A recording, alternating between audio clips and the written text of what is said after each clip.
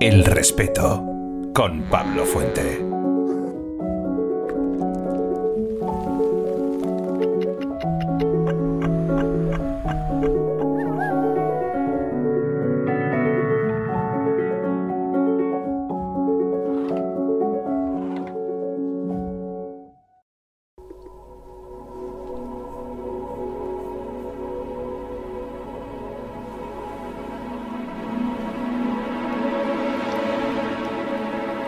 Era la 1 y 50 de la tarde del 31 de julio de 2020. El rover Perseverance de la NASA despegó rumbo a Marte desde el Centro Espacial Kennedy en Cabo Cañaveral, en Florida. Propulsado por un cohete Atlas V, el Perseverance, en un vuelo interplanetario de 7 meses y 450 millones de kilómetros, recorre los espacios infinitos.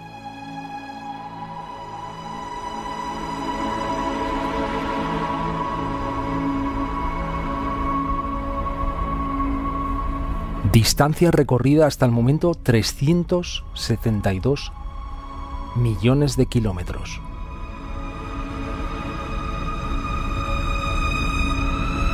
Distancia por recorrer 98 millones de kilómetros.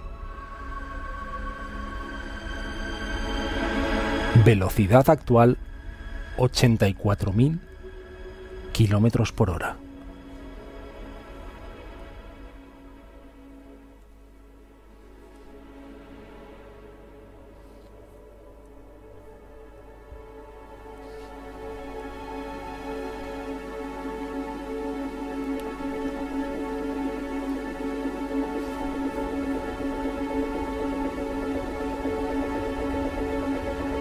18 de febrero de 2021. El objetivo del rover es el cráter G0.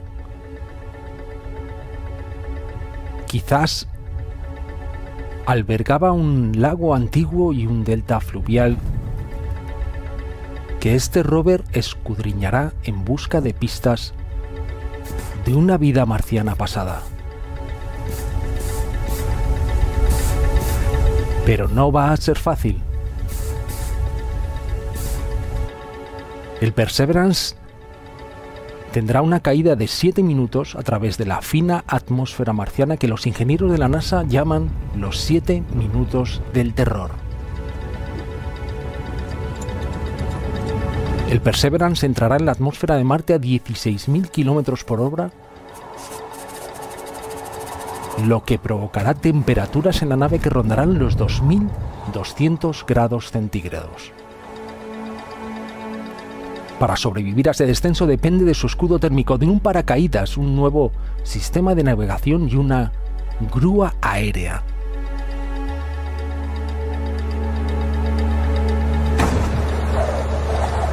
Hay una serie de primicias de este rover Será el primero que tomará imágenes con una cámara con zoom.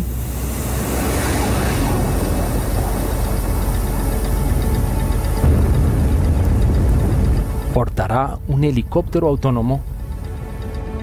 Estará potenciado por plutonio por primera vez en los últimos 30 años. Y recolectará muestras de Marte. Que quizás lleve de vuelta a nuestro planeta.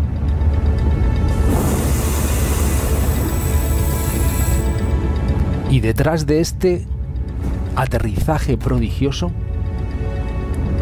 está Fernando Avilleira, un ingeniero aeroespacial español que empezó su carrera profesional en la NASA en el Goodward Space Flight Center situado en Greenville, Maryland, y que ahora es una de las personas claves en esta misión Mars 2020. La exploración del planeta rojo a tan solo unos meses de hallazgos quizás claves.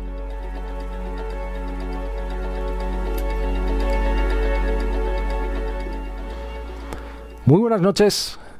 ¿Cuándo son las 10 y 6 en la península, cuando son las 9 y 6 en las afortunadísimas Islas Canarias y cuando son la 1 y 6 minutos de la tarde, don Fernando Avilleira. Vaya placer tenerte en Radio El Respeto. Muy buenas tardes para ti, buenas tardes, buenas noches para nosotros. Hola, muy buenas tardes y gracias por vuestra amable invitación. Un placer estar con vosotros hoy.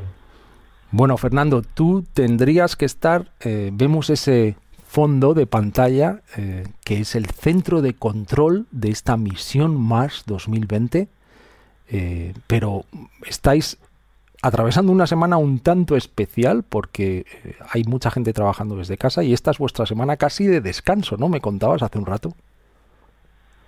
Sí, así es. Eh, pues eh, la verdad es que con el tema de la pandemia las cosas han cambiado de forma significativa y, bueno, normalmente estaríamos en el control de misión eh, desde el que haríamos las operaciones diarias que tenemos que, realizar en el vehículo, pero en la actualidad y por, pues, cuestiones de seguridad estamos intentando minimizar la, exposición pues, del equipo eh, y entonces, pues solamente vamos al laboratorio cuando tenemos operaciones críticas, como la que tuvimos hace un par de semanas cuando ejecutamos la, eh, con éxito la tercera eh, maniobra de corrección de la trayectoria.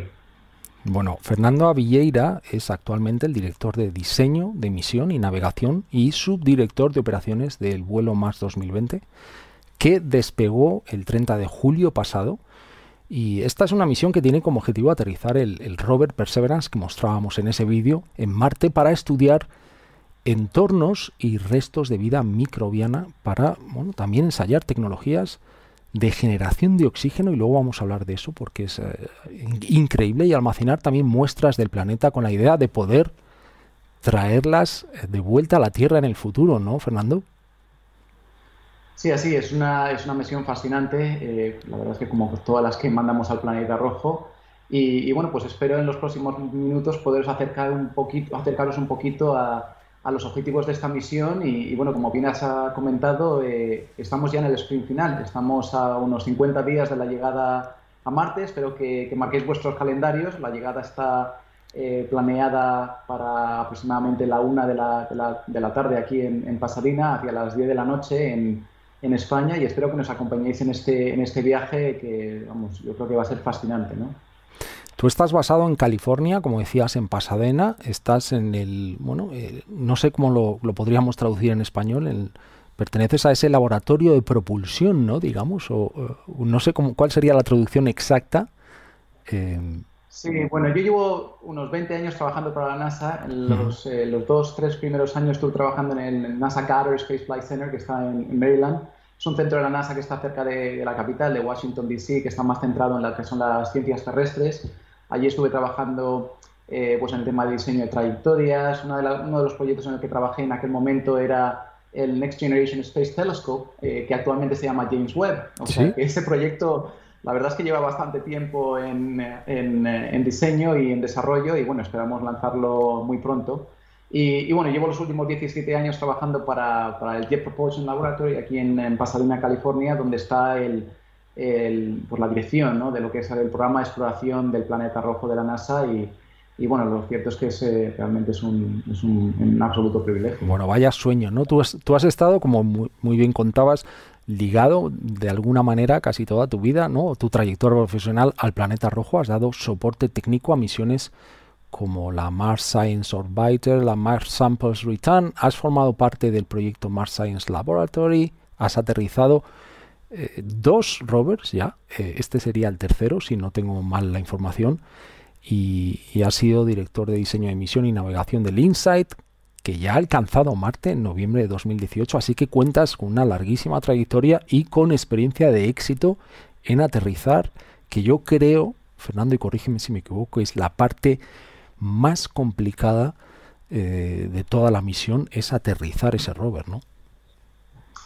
Sí, bueno, te, dejo con, un dato, Pablo. Eh, eh, desafortunadamente, más de la mitad de las misiones que hemos mandado al planeta rojo, no solamente la NASA, sino también si contamos con el resto de las agencias espaciales en el mundo, han fracasado.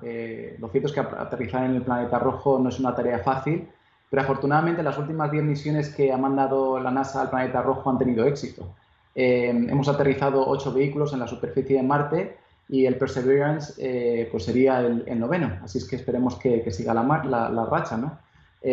como bien comentabas, pues sí, he trabajado en, estudios preliminares, como, como comentabas. Y, bueno, en proyectos de vuelo, eh, pues fui el, encargado de, la optimización de trayectorias, el diseño y misión de la, de, la misión Mars Science Laboratory, que aterrizó el, rover Curiosity en Marte en aquel verano del, 2012.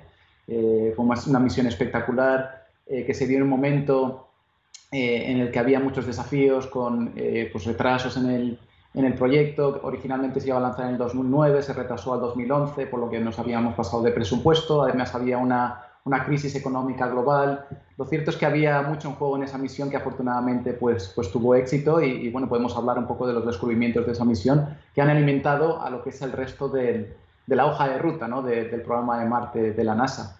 Eh, también la, tuve la suerte de trabajar en el, en, el aterrizador InSight, que aterrizó, como comentabas, en Marte en, noviembre del 2018, una plataforma eh, eh, estable.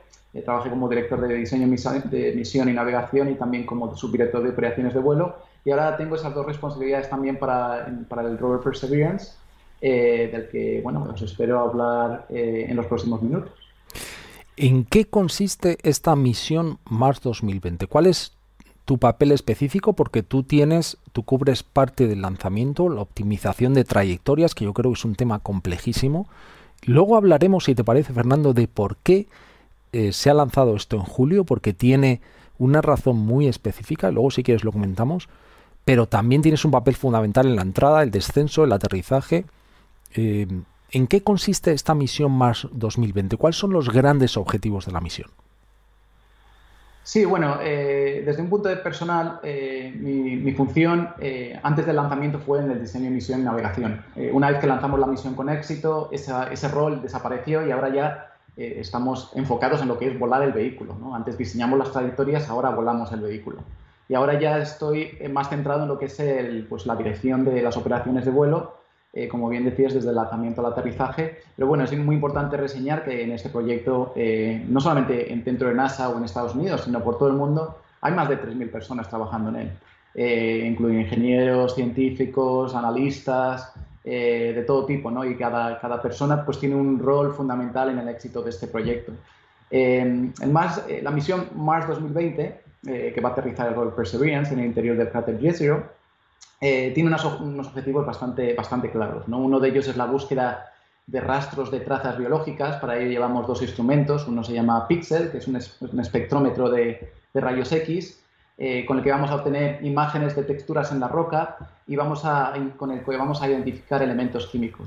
También tenemos un, un instrumento que es fundamental eh, en esta misión que se llama Sherlock. La verdad es que me gusta mucho el nombre, es, muy, propicio. ¿no? Como Sherlock Holmes, ¿no? Lo que es la superficie marciana y utiliza una combinación de espectrómetros, un láser y una cámara para buscar eh, compuestos orgánicos y minerales que hayan podido ser alterados por ambientes acuosos.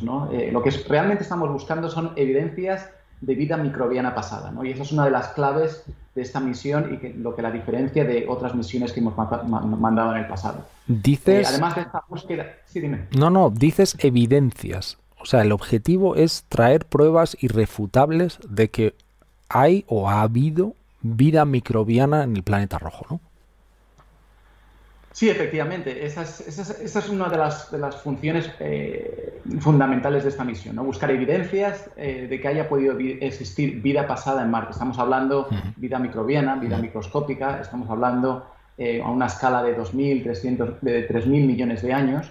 Y, lo que es realmente eh, peculiar de esta misión es no solamente el instrumental que va a buscar estos compuestos orgánicos, ¿no? sino que también los vamos a almacenar en una especie de probetas, de, tubos de ensayo, para su posible retorno a la Tierra por una misión futura. Como muy bien has dicho, eh, pues, pues, hablar ¿no? de, posible vida más allá de la Tierra eh, pues necesita unas pruebas totalmente refutables. el vehículo que llevamos a Marte es un vehículo que tiene un, un, un, instrumental, una carga útil muy, muy potente pero no es comparable ¿no? a los, a los eh, laboratorios de alta vanguardia que podemos tener en la Tierra. Por eso las muestras más relevantes se van a almacenar para su posible retorno a la Tierra y luego estudiarlas con mucho más detalle utilizando los, los eh, dispositivos y los instrumentos que tenemos aquí disponibles en la Tierra para confirmar nuestras hipótesis. ¿no?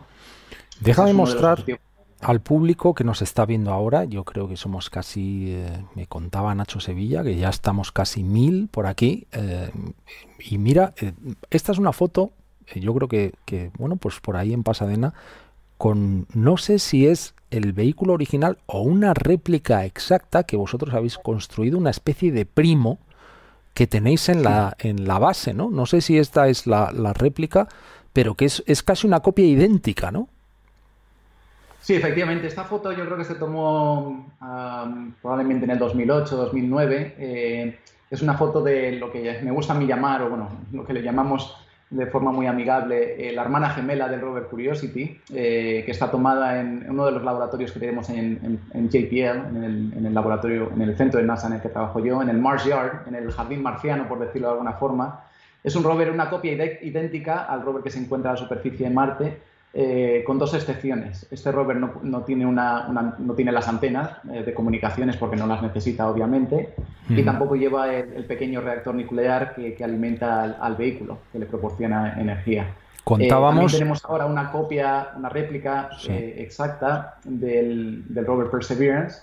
Y bueno, estos, estos vehículos, que los llamamos que pertenecen al testbed, son fundamentales porque en ellos hacemos todos los testeos, todas las comprobaciones de los comandos antes, que los, antes de que los mandemos a los vehículos que están en la superficie marciana.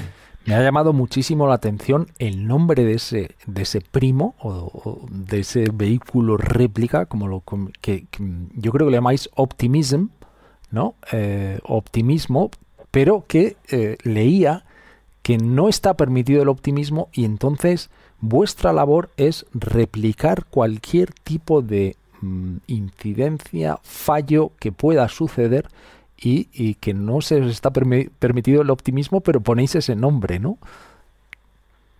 Sí, así es, ¿no? El, vehículo que ves en la imagen corresponde a la, réplica del Curiosity. Este, este vehículo se llama Maggie, por eso decía la hermana gemela. Y como bien comentabas, ah. la réplica de, del rover Perseverance se llama Optimism. Ah, o sea eh, que... Es una eh, no me preguntes lo que significa, porque la verdad es que no lo recuerdo. Eh, la gente que trabaja en las operaciones de superficie, la verdad es que hace piruetas para, para inventarse un acrónimo que vaya un poco acorde con, con la finalidad del vehículo. Hacíamos esa introducción y contábamos, Fernando, que el lanzamiento se produce en, julio de 2020. Y déjame mostrar un gráfico, porque la verdad es que me ha llamado muchísimo la atención. Mm, que tiene una razón de ser el por qué julio, por qué no junio, por qué no agosto y por qué 2020. Si quieres, cuéntanoslo porque hablamos de eh, Marte en conjunción o Marte en oposición, pero claro, una persona como tú que tiene tanta experiencia y tanto, bueno, sapiencia en temas de órbitas, pues nos puede explicar perfectamente el por qué, ¿no? Sí, eh, bueno, antes de que hablemos de trayectorias, que la verdad es que es uno de los temas que más me, interesan, ¿no? porque ha sido pues, eh, un poco mi, eh, mi, formación académica, ha estado muy centrada en lo que es el tema de, de optimización de trayectorias. no, me quería, no quería dejar pasar la oportunidad también de, comentar el hecho de que otro de los objetivos que tenemos en, en aterrizaje de este, de este vehículo ¿no? es estudiar lo que es el clima, el clima marciano. Y para ello utilizamos un instrumento español que se llama MEDA. Eh, José Antonio Rodríguez Manfredi, y su equipo en el, Centro de Astrobiología de Madrid eh, y, el equipo que pertenece al CSIC y al, y al INTA, la verdad es que han hecho unas contribuciones a nuestra misión muy importantes y una de ellas es MIDA y, la, y otra de ellas es eh, la antena de alta ganancia que utilizaremos para comunicarnos desde la superficie a los, a los orbitadores marcianos de la NASA que están orbitando el planeta en la actualidad. Qué bueno. así es que hay importantes, muy importantes contribuciones eh, fuera de la NASA y España eh, pues, ha proporcionado un instrumento que va a ser fundamental para entender un poquito mejor eh, el, aspecto meteorológico del, lugar de aterrizaje. El instrumento MEDA nos va a proporcionar medidas del viento, de la velocidad del, del viento, la dirección, la temperatura, la presión atmosférica. Luego te voy a eh, preguntar sobre eso, porque claro, tiene que tener una influencia de si es un día terrible o es un día relativamente tranquilo, pero luego, luego si te parece, hablamos de eso y de ese instrumento español que me parece súper interesante y es un orgullo, ¿no? Que haya tecnología hecha en casa, pues que esté viajando en este momento por los espacios infinitos. Hablábamos de julio, Fernando, porque en julio de 2020 y solamente en esa fecha, porque es algo que se produce casi cada dos años, no, no exactamente, un pelín menos, pero cuéntanos por qué.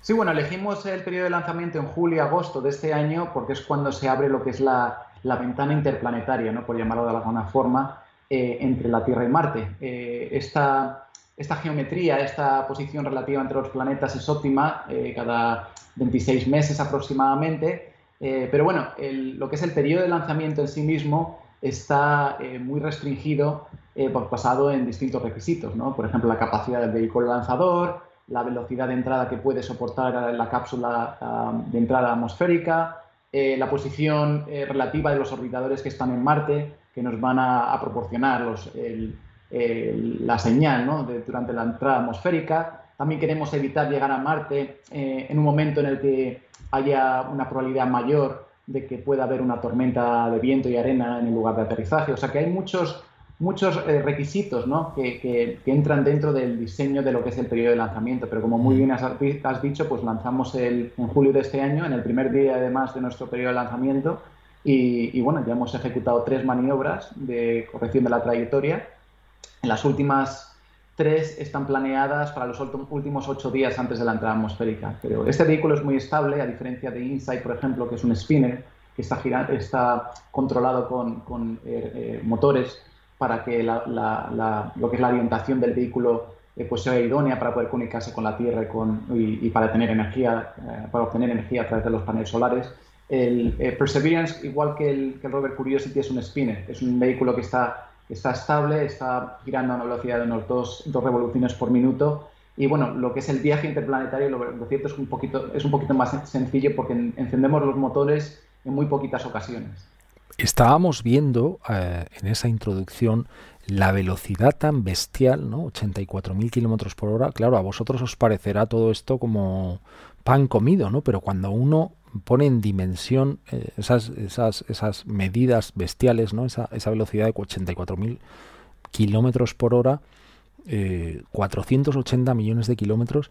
Claro, me imagino que cuando vosotros tenéis que corregir cualquier trayectoria, Fernando, eh, hay un, retraso entre que, entre que vosotros mandáis una instrucción y que llega, claro, estamos hablando de unas distancias increíbles, ¿no? ¿Cuál es ese de retraso entre que vosotros ejecutáis una maniobra de, corrección de trayectoria y el momento que la nave responde?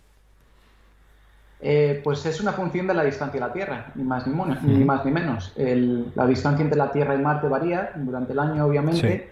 Eh, cuando están los planetas más cerca, este, desfase, este desfase de las señales de aproximadamente 5 o 6 minutos.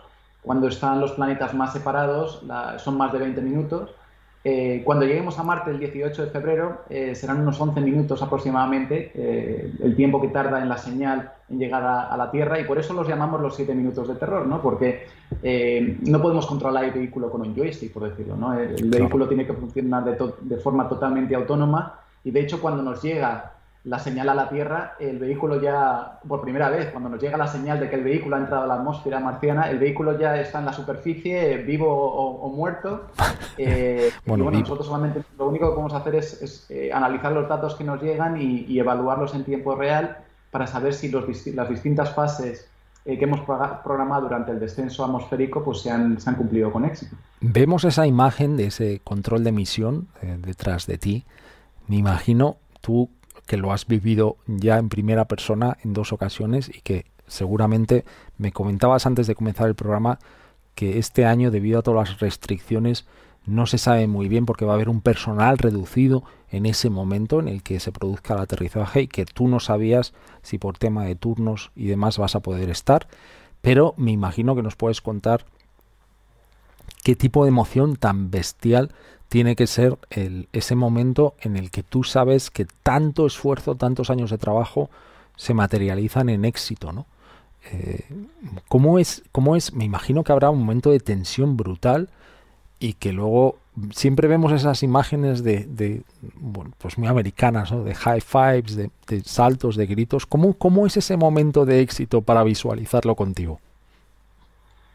Sí, eh, es una muy buena pregunta. Eh, lo cierto es que hay dos momentos críticos durante la misión. Uno es el, lanzamiento, del que hablábamos antes, Eh, es un momento crítico también eh, porque nosotros, el, vehículo lanzador nos da el impulso necesario para entrar en esta trayectoria de, transferencia interplanetaria, ¿no? Pero pasan unos minutos desde que la nave se separa de la fase superior del vehículo lanzador hasta que lo que es el amplificador de señal está lo suficientemente caliente para poder mandar señales de vuelta a la Tierra. Entonces, unos minutos en los que no tenemos ninguna información, porque mientras el vehículo está eh, enganchado, está sujeto al, cohete, recibimos datos telemétricos, datos de ingeniería a través de, las antenas del cohete. Pero una vez que la nave se separa, dependemos exclusivamente de, las antenas de la nave para comunicarnos con, la misma. Eh, entonces, como pasan unos minutos en los que hay silencio, lo cierto es que hay hay mucha tensión, ¿no? Porque lanzas la nave, es la primera vez que la nave va a estar expuesta al vacío, es la primera vez que vamos a utilizar las antenas, los amplificadores de señal en, el vacío del espacio. Y, bueno, por muchas pruebas que, haya, que hagas, por muchos simulacros, por muchos test, pues siempre puede haber algún problema, ¿no? Eh, por eso cuando por fin recibimos la señal de que la nave está viva y está con buena salud después del lanzamiento, la verdad es que es un momento bastante de tensión y bastante de alegría porque sabemos que la, la nave está, está comunicándose y bueno, ya cuando conseguimos eh, pues hacer el two-way y el commanding, mandar comandos a la nave, ya tenemos el control de la misma. Lo cierto es que podemos respirar tranquilos sabiendo que tenemos un viaje interplanetario por delante que, va, a tener muy ocupado. ¿no? Pero el, momento más crítico realmente es ese momento de la entrada atmosférica. ¿no? Creo que en tu vídeo comentabas, ¿no? Las velocidades de entrada atmosférica son tremendas, ¿no? Estamos hablando de 20.000 kilómetros por hora cuando entramos, Qué cuando tocamos por primera vez la atmósfera marciana, a unos 125 kilómetros de altura. Que es una atmósfera eh, muy fina, ¿no? Comparado con la terrestre, es una, atmósfera mucho más fina, ¿no? Sí, es una atmósfera más fina eh, y es muy interesante, ¿no? Porque eh, si te paras a pensarlo, por ejemplo, en la Luna no hay prácticamente atmósfera, ¿no? la gravedad es muy baja y, y no podemos utilizar los sistemas de descenso que aterrizamos en la Luna porque, porque tampoco es como la Tierra. En la Tierra tenemos la atmósfera, eh, tiene bastante densidad y entonces podemos utilizar la atmósfera para ayudarnos a decelerar. En Marte es como este sitio, este lugar entre medias, ¿no? No es como la Luna ni es como la Tierra, entonces tenemos que utilizar una combinación de sistemas de descenso que incluyen un paracaídas supersónico, unos motores, unos retromotores, unos retrocohetes para acelerar el vehículo. Y bueno, estamos utilizando la misma tecnología que utilizamos con el, con el rover eh, eh, Curiosity, con el Skytrain, con esta grúa voladora, que bueno, eh, pues nos proporciona la capacidad de, aterrizar el rover y, bueno, minimizar el, número de, despliegues que tenemos que hacer cuando el vehículo eh, pues se posa en la superficie. Eh, como ves ahí, justamente te iba a explicar este gráfico un poco por encima, pero son siete minutos de terror en el que distintas funciones se tienen que ejecutar sin, sin, ningún fallo y de forma totalmente autónoma. ¿no? Pasamos los primeros 3-4 minutos volando a velocidades hipersónicas, como te comentaba, entramos en la atmósfera a 20.000 km por hora, a unos 6 km por segundo, ¿no? Es, es, es, Mach 25, son, son velocidades que son casi difíciles de comprender, ¿no? Es eh, bestial. utilizamos un, sistema de entrada guiada eh, en el que el, vehículo, de forma totalmente autónoma, decide en qué dirección tiene que girar ¿no? para reducir las, los errores en el aterrizaje, las, las dispersiones en el aterrizaje, y esto nos proporciona eh, la capacidad de poder eh, aterrizar en lugares como el, cráter Gale, donde aterrizó el Curiosity, o el, cráter Jezero, eh, en el que va a aterrizar el, el, rover Perseverance, los cuales están llenos de obstáculos, de rocas, de pendientes, de precipicios, los, cuales para un ingeniero como yo, la, verdad es que nos hacen la vida bastante compleja. Fernando, ¿te parece, ¿te parece que... Perdona que te interrumpa, ¿te parece que veamos un pequeño vídeo de todo esto? ¿Te parece que se lo pongamos a la gente para que lo visualice? Claro que sí. Vamos a ello.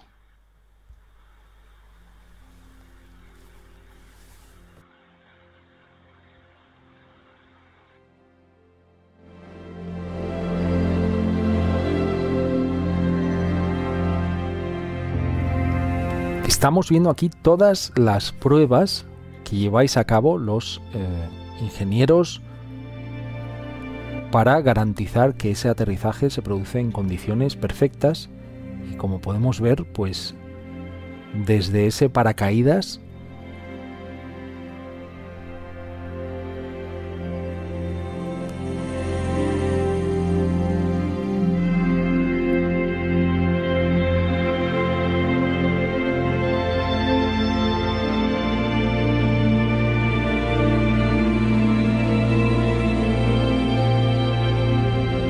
todo tipo de test de túneles del viento.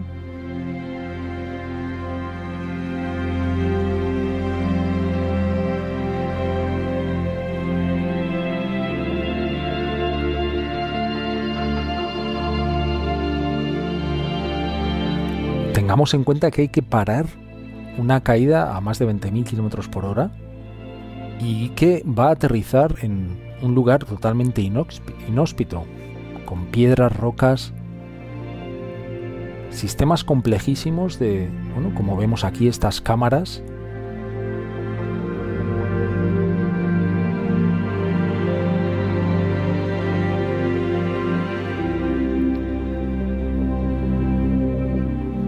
¿Qué tiene que soportar una rueda para caer sobre una roca, no partirse? Pues todo, todo, todo se prueba, ¿no?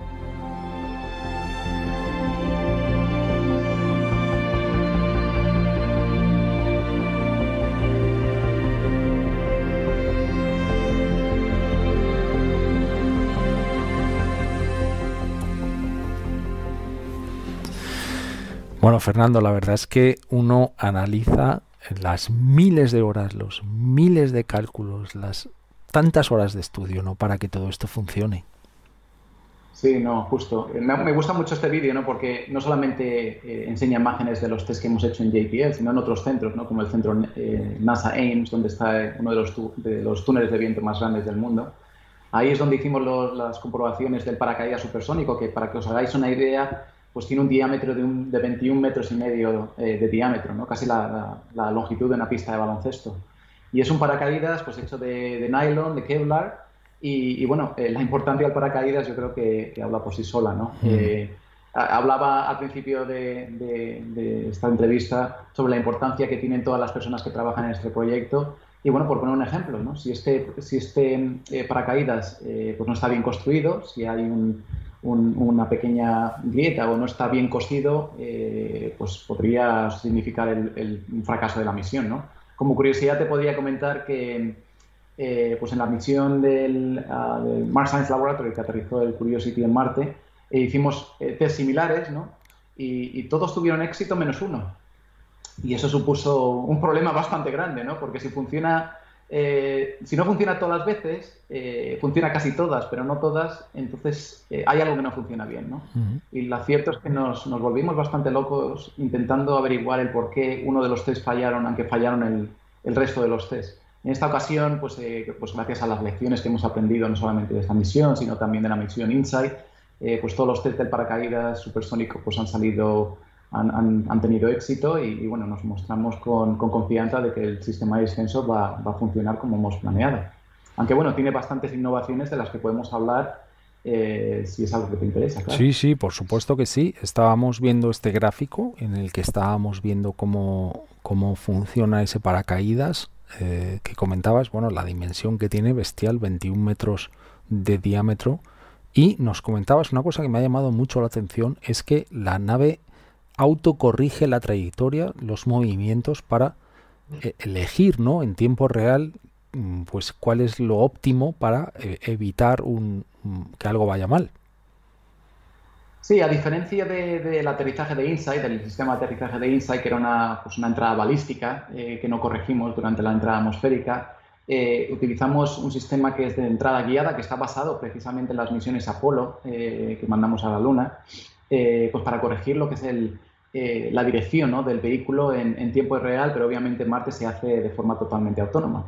Eh, unos días antes de la entrada atmosférica mandamos un archivo, un, fichero que además es legible, que se puede, lo, puede, leer cualquier persona, en el que especificamos al, rover su posición y su velocidad, porque en, Marte, eh, y parece, puede parecer algo, algo obvio, pero realmente no lo es, en Marte no tenemos GPS, entonces la única forma que sabemos dónde está, que, el vehículo sabe dónde está cuando llega a Marte, es porque nosotros le proporcionamos esa información. Entonces, unos días antes de la llegada a Marte, eh, le decimos al, vehículo, eh, a través de este fichero, de este, de este, archivo, su posición y su velocidad, además de unos parámetros de navegación y demás, eh, la velocidad y la posición que va a tener en el momento de entrada atmosférica. Entonces, utilizando la unidad de, de, medida inercial que, que, tiene el rover, lo que hace el rover es pues sentir ¿no? lo que es la, el, impacto de la atmósfera terrestre eh, mide las aceleraciones, no terrestre, perdón, de la atmósfera marciana, mide las aceleraciones y la, velocidad angular. Y entonces dice, bueno, pues en mi posición, en el momento de la entrada era esta y he medido esta aceleración y esta, y esta velocidad angular, ahora, tengo que, ahora estoy en esta posición, pero mi objetivo está allí, entonces tengo que girar la nave, lo hace utilizando unos, unos motores que tienen la parte posterior del vehículo, gira la nave y entonces se, se autocorrige para, para orientarse en, hacia el punto de aterrizaje. Eh, como te puedes imaginar, este archivo que se manda a la nave es, es crítico, ¿no? Porque el, vehículo solo sabe eh, la posición y la velocidad que nosotros le damos. Si es incorrecta, pues el vehículo va a ir a otro sitio. Así es que realmente es, eh, es un sistema muy innovador y que es totalmente fundamental para aterrizar en un lugar como, como el cráter Jezero. Fernando, hablabas de ese archivo, de la importancia que tiene. Pero claro, detrás de ese archivo hay personas brillantes como tú ¿Cómo llega alguien a trabajar en la NASA? Porque parece como el sueño de cualquier infante, de cualquier niña o niño del mundo, decir, o quiero ser astronauta o trabajar en la NASA, parece como ese sueño tan bestial, ¿no? ¿Cómo, cómo llegas tú allí eh, y cuáles son los requerimientos? Luego hablamos de tu tesis, porque a mí me ha dejado absorto, ¿no? Eh, pero ¿cómo llega alguien a trabajar en la NASA? ¿Cuál es el proceso? muchas gracias por tus amables, amables palabras. No, no, eh, no, no es peloteo. luego, luego voy a contar detalles de tu tesis doctoral porque dejaste alucinado a medio planeta y la NASA te contrató inmediatamente, ¿no? Pero, ¿cómo llegas tú a trabajar ahí? Eh, bueno, yo lo que querría poner claro, yo creo que lo fundamental es, tener ilusión y pasión en lo que uno hace, ¿no? Eh, además, sobre todo la gente joven que a lo mejor nos puede estar escuchando, para mí es un, auténtico privilegio tener la oportunidad de compartir ¿no? un poco eh, lo que hacemos, ¿no? de acercaros a este apasionante mundo de la, astronáutica, ¿no? de la exploración del sistema solar. ¿no? Eh, yo me considero afortunado porque, porque eh, me digo a mí mismo que a lo mejor tengo la oportunidad de, de, motivar ¿no? o, estimular a, pues a, un, a, un, estudiante ¿no? que ahora mismo está pensando, bueno, ¿qué voy a hacer con mi futuro? ¿no? Y, y pues ve a lo mejor lo que estamos hablando y dice, pues ¿por qué no voy a poder trabajar en el espacio? ¿Por qué no voy a hacer la eh, voy a ser un científico que va a descubrir eh, la siguiente vacuna que va a ser eh, fundamental para, nuestra, para la humanidad o para cualquier cosa, ¿no? Yo me, gusta mucho ponerme como, como ejemplo porque yo vengo de una familia totalmente normal, yo nací en Madrid y, bueno, lo cierto es que a mí me interesó desde siempre el tema del, de la exploración del, del, sistema solar y del espacio en general eh, y fue sobre todo a raíz de una visita que, que, hice a, Robledo de Chabela, una de las estaciones de la red de comunicaciones de espacio profundo que está en Madrid, eh, a las afueras de Madrid. Me llevaron mis padres cuando tenía siete años y la verdad es que se me quedó marcado ¿no? en la memoria. Eh, desde que se hizo... El tamaño de la desde, desde Robledo de Chabela se hizo el seguimiento de la llegada del hombre a la luna con la retransmisión de televisión española y gente que estaba allí haciendo ese seguimiento en tiempo real eh, bueno, parte de la historia. ¿eh? Y, tanto, y, de hecho nuestros amigos de la red de espacio profundo de la DSN, de, NASA, eh, son fundamentales, ¿no? Y tienen, de hecho, tienen un eslogan, ¿no? Que nunca, nunca voléis, nunca salgáis de la Tierra sin nosotros, y es totalmente cierto, ¿no? Porque como te comentaba, en el espacio no existe GPS, la única forma que podemos eh, saber dónde está el vehículo, eh, cómo se está moviendo, a qué velocidad, es pues a los, gracias a los datos eh, radiométricos que recibimos a través de estas antenas de comunicación del espacio profundo y a través de las mismas son, es como recibimos datos de ingeniería, datos científicos y cómo comandamos, cómo mandamos comandos a las naves, a los vehículos que están explorando otros planetas y así es como los controlamos, o sea que es fundamental. Pero a raíz de eso a mí me impresionó mucho ¿no? el, ver en, vivo en directo pues, algo que a lo mejor solamente pues, veías en las noticias, ¿no? cuando se lanzaba el transbordador espacial o cuando enseñaba una imagen de una antena gigante que estaba comunicándose con una sonda que estaba visitando otros mundos y, y demás. Y eso me hizo sentir pues, que, pues, que a lo mejor era, era posible ¿no? estudiar pues, ingeniería y a, y a, lo mejor pues, en algún momento pues, eh, trabajar en algo eh, pues, relacionado con, con la astronáutica y demás. Eh, me gustaría comentar una anécdota, si me permites, Pablo. Por supuesto. Es que un, amigo de, mis padres, eh, pues cuando, cuando supo que quería estudiar ingeniería y trabajar en el espacio y tal, eh, ingeniería aeronáutica o aeroespacial, me hizo un comentario yo creo que bastante desafortunado, aunque quizás me motivara incluso más, no lo sé. Pero me dijo, mira, toda todo la gente que estudia ingeniería aeronáutica o aeroespacial acaban diseñando lavadoras. Y lo cierto es que yo creo que es una, una mentalidad eh, que tenemos que, echar a un lado, ¿no? Porque, vamos a ver, eh, yo no tengo nada en, contra de lo que de, pues, un, ingeniero eh, pues que esté diseñando lavadoras o televisiones, ni muchísimo menos, ¿no? Pero el hecho de que te echen un poco abajo, ¿no? De que te quiten la ilusión de trabajar en lo que tú quieres, ¿no? Simplemente porque te digan, ah, eso es imposible, yo creo que es un error, ¿no? Y en España, desafortunadamente, yo creo que, ese, ese, tipo de mentalidad existe mucho, ¿no? En decir, aquí en España, ¿cómo vamos a tener nuestra agencia espacial española? Pero eso no, no es posible. ¿Por qué no? En, España gente, existe gente con muchísimo talento. Lo único que se necesitan son recursos, se necesita una visión y se necesita un presupuesto eh, de investigación y desarrollo constante que, que, pues esté separado un poco del gobierno, ¿no? Eh, independientemente de quién esté en, el, en, el, en la zarzuela o en el Congreso de los Diputados, que sea un, un proyecto y un presupuesto constante que permita a nuestros ingenieros y científicos españoles eh, pues mostrar su valía y, ayudar al avance de la humanidad. Eh, España tiene su sitio y lo está demostrando constantemente. Fernando, te estaba escuchando contar eso. Justamente la semana pasada en El Respeto hice un programa eh, sobre la resiliencia, una, un palabra bueno, que mucha gente me ha criticado por utilizarlo, pero bueno, mm, Mm, inglés, pero por supuesto también latino, ¿no? Y una de las cosas que contaba en ese programa que tenía muchísima repercusión y le doy gracias a la gente es un concepto que, yo llamo the pool in the pool. Estás en una piscina paradisíaca con tu pareja tomándote un cóctel y de repente mm, aparece una caquita flotando en esa piscina. Va a haber siempre alguien a tu lado que te va a decir, pero ¿cómo vas a estudiar ingeniería aeronáutica si vas a acabar haciendo lavadoras? Pues eso, justamente hablamos de eso la semana pasada, y a todos esos hasta todas esas pus in the pool, a todas esas caquitas que aparecen en tu vida, que dijimos esas hay que echarlas por la depuradora, que vean a este señor, Fernando Villeira, que está, bueno, pues en uno de los proyectos que pueden cambiar la historia de la humanidad para siempre, eh, en la NASA cumpliendo su sueño, eh, algo por lo que ha trabajado toda su vida con mucho empeño y eh, bueno, pues aquí está, ¿no?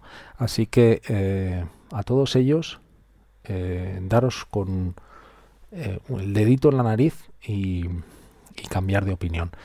Fernando, pasamos página sobre eso, estoy completamente de acuerdo contigo. España, yo he vivido muchísimos años fuera, pero hay gente en este país que tiene un talento descomunal solo hacen falta medios y que se nos apoye y lamentablemente muchas veces, y nosotros no tenemos ni color ni bandera, los dirigentes, pues parece ser que la ciencia siempre va en la lista de prioridades, solo nos acordamos de la ciencia cuando se la necesita, ¿no? Como ahora, no, la vacuna, tal. Bueno, sí, pero eso hay que apoyarlo durante muchos años y hay que apoyar proyectos como este, porque una de las, una de las, eh, no podemos negarlo, ¿no? La, la carrera espacial en el pasado, sobre todo con, el tema de cuando fuimos a la Luna, digo fuimos porque creo que la humanidad entera fue a la Luna, tuvo mucho que ver esa, esa, bueno, esa lucha de potencias de la, de la eh, USSR, de Estados Unidos, y que ahora, aunque Trump ya sale, pero también había mucha, mucho interés, ¿no? Pero no vamos a hablar de política, yo creo que es una grandísima noticia que volvamos a Marte y que vamos a utilizar la Luna, si quieres hablamos de eso, como una estación intermedia eh, básica, ¿no? Que, es fundamental para utilizarla como base, mm, como decía, intermedia, pero también como backup, ¿no? ¿Qué, nos puedes contar de eso? ¿Por qué la Luna es un paso fundamental hacia Marte? Sí, eh, bueno, eh, antes de que hablemos del programa Artemisa, que has hecho referencia, eh, estoy totalmente de acuerdo con lo que has comentado, ¿no? el, impulso que se necesita dar a la ciencia, a la tecnología, a las matemáticas, eh, yo creo que es fundamental ¿no? para el desarrollo de un país. De hecho, eh, se han hecho muchos estudios en Estados Unidos que hablan de que por cada dólar que se invierte en NASA, el retorno de esa inversión es aproximadamente entre 50 y 60 dólares. o sea que no es, no es dinero que se... muchas veces que la gente me pregunta, bueno, ¿qué te parece eh, que mandemos una, nave a, Marte que cuesta 2.500 millones de dólares. ¿Por qué tiramos todo ese dinero al planeta rojo? Mm. Bueno, realmente no se tira al planeta rojo, ese dinero se queda aquí. Se queda aquí, se invierte en ingenieros, en científicos, en analistas. Eh, y esa inversión que se hace en tecnología espacial tiene el impacto, tiene impacto directo en nuestro día a día. Y de hecho, eh, me alegro mucho de que NASA haya empezado a, publicar estos informes todos los años y están disponibles en Internet para cualquiera que los vea, que hablan directamente ¿no? de, los, de las aplicaciones, ¿no? de, la tecnología que se ha desarrollado para volar una nave y explorar otros mundos y cómo se ha girado esa tecnología ¿no? para, y se ha convertido en, servicios o aplicaciones que nos impactan en el día a día. ¿no? Y por poner varios ejemplos, desde eh, pues dispositivos auditivos a aparatos bucales, eh, máquinas eh, de, resonancia magnética, eh, incluso la leche de fórmula de los bebés. Muchos, de, estos, de, estas, de estas tecnologías ¿no? tienen, o de estos, de estos productos tienen su origen en, tecnologías desarrolladas por la NASA. Y de hecho, a los más pequeños les animaría que la próxima vez que vuelen, que espero que sea pronto, que, estén en un avión sentados, que miren a las alas de un avión y que miren la pequeña curvatura ¿no? que, tiene, que tienen las alas eh, eso, eso que hace, eso que hace así, ¿no? Que, he escuchado y nuestro gran amigo Nacho Sevilla, que es piloto y seguro que ahora mismo me pega un capón si digo algo que está mal, pero eh, que creo que es para ahorrar combustible, ¿no? Para, ahorrar combustible se llama un Winglet y, es una tecnología que está eh, pues desarrollada por la NASA. para, pues, no solamente para ahorrar combustible, sino también para tener un impacto menor en, nuestro medio ambiente, ¿no? Qué bueno. En el tema de la contaminación. Qué bueno. Em, Fernando, hay muchísima gente que nos está preguntando, bueno, pues cómo llegas tú allí, qué es lo que hay que estudiar, luego si quieres hablamos de eso. Pero en este viaje que mostrábamos al inicio del programa, eh, en este, bueno, en esta ubicación de donde está mm, en este Mars 2020, este proyecto, este rover, ¿no? Eh, me gustaría enseñarle o, hacer que la gente escuche porque se ha colocado un micro, mm, bueno, pues que podemos escuchar qué es lo que ha ocurrido y se, hace poco habéis conectado, relativamente poco, habéis hecho una conexión y se ha capturado 60 minutos, 60 segundos de audio. Eh, lo que he hecho, y si que te parece lo vamos a poner ahora, es amplificar, porque era un sonido prácticamente imperceptible, aunque yo lo he amplificado y si quieres lo mostramos a la gente a ver a ver qué escuchan. Bye.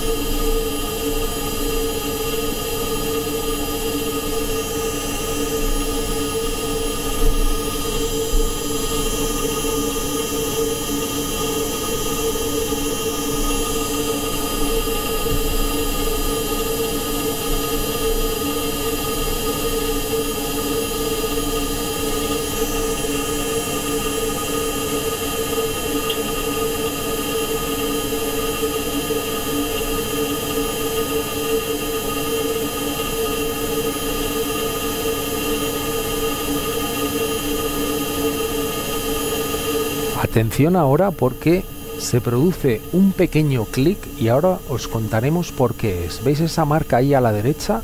Prestar atención.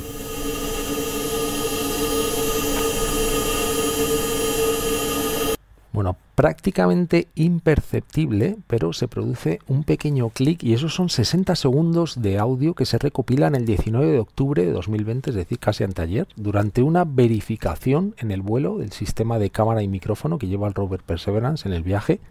Y ese zumbido eh, casi imperceptible proviene de la bomba de fluido, de lo que llamáis el rechazo de calor de ese vehículo y, yo te comentaba antes de empezar el programa que mis amigos de DPA, que es una marca danesa de micrófonos, que son los que han hecho este pequeño micro que hay aquí, que son famosos por las miniaturas y que todos los musicales de Broadway y de Londres llevan este tipo de miniaturas aquí puestas y que nuestro eh, Robert también lleva un micro de DPA ahí y que cuando hacéis esa conexión pues se captura, aunque yo lo he amplificado porque el sonido es muchísimo más eh, casi imperceptible, pero que es alucinante cuando hacéis esa conexión saber que está todo en orden, ¿no?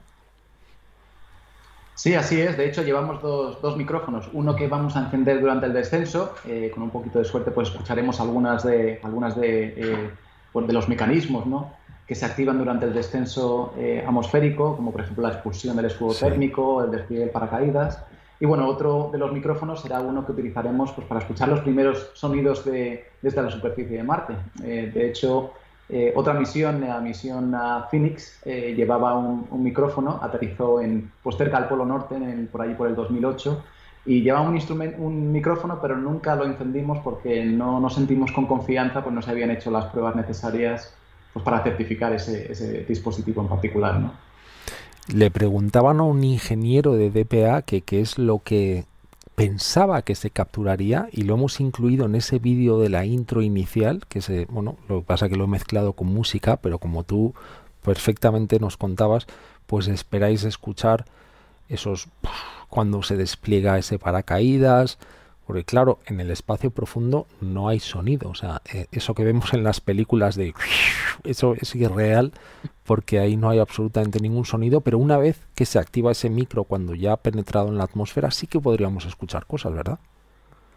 Sí, no solo eso, yo eh, soy ingeniero, no soy científico y, lo cierto es que estoy bastante entusiasmado por ver las primeras imágenes que nos puedan llegar después del aterrizaje eh, claro está, de pues, imágenes tomadas durante el descenso, ¿no? porque el, el rover eh, Curiosity, eh, que aterrizó en Gale, como os comentaba antes, sí que llevaba una, cámara que tomó imágenes durante el descenso y que nos permitió, y de hecho lo has mostrado un poquito en tu vídeo, pero tenemos imágenes reales de lo que fue la expulsión del escudo térmico, ¿no? y, y, y bueno, lo podéis ver en YouTube eh, es realmente increíble, ¿no? Porque te da un punto de vista mirando hacia abajo durante el descenso y puedes hacerte idea pues, de lo que estarías viendo si estuvieras aterrizando en Marte.